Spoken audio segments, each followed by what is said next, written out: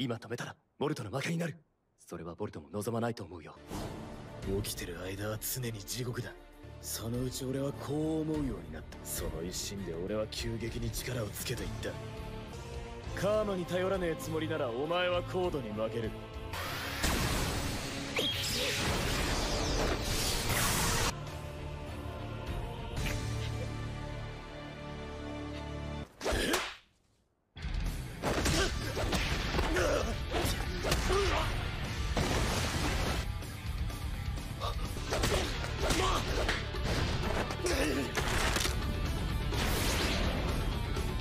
ナイトン新ナイ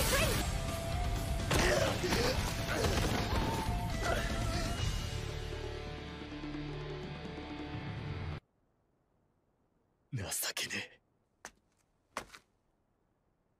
出会ったばっかの頃とはよ。お前の考えそうなことがよ。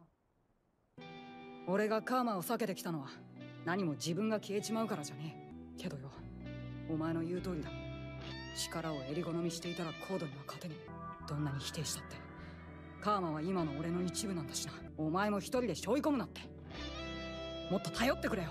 もうちょい頼りがいのあるやつが言うもんだぜ。桃式に乗っ取られることがあったら。その時は止めてやるよ。これで恨みっこなしだぜ